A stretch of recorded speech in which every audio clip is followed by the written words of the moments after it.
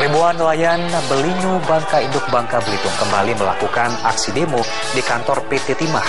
Mereka meminta PT Timah menghentikan aktivitas penambangan menggunakan kapal hisap karena akan merusak biota laut. Akibatnya hasil tangkapan nelayan menjadi berkurang drastis. Sempat terjadi aksi do saling dorong antara nelayan dan pihak sekuriti PT Timah. Menurut seorang warga, gubernur telah mengeluarkan surat perintah penghentian penggunaan kapal hisap kepada PT Timah saat warga melakukan aksi di kantor gubernur. Namun, pemerintah tersebut uh, diabaikan oleh PT Timah.